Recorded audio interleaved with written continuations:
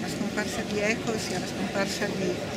una personalità del mondo della cultura internazionale tra le più grandi dell'ultimo secolo e dello scorcio di secolo che stiamo vivendo e sulla sua grandezza ancora dovremo capire molte cose. Per me era un amico e lo ringrazio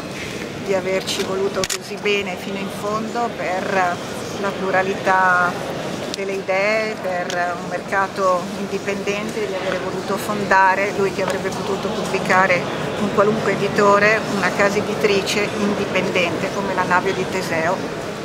Aveva ancora grande entusiasmo. Sì, aveva l'entusiasmo che è pari al mio, che sono già una persona molto entusiasta, ma sono un po' più giovane e ha creduto fortemente nelle idee, questo fa rendere agli occhi di tutti un uomo supremo, un uomo assoluto, un uomo completo. Perso una grandissima personalità, abbiamo perso un maestro, abbiamo perso famiglia soprattutto,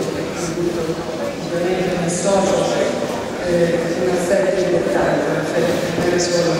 di una famiglia di un paese che, aveva superato confini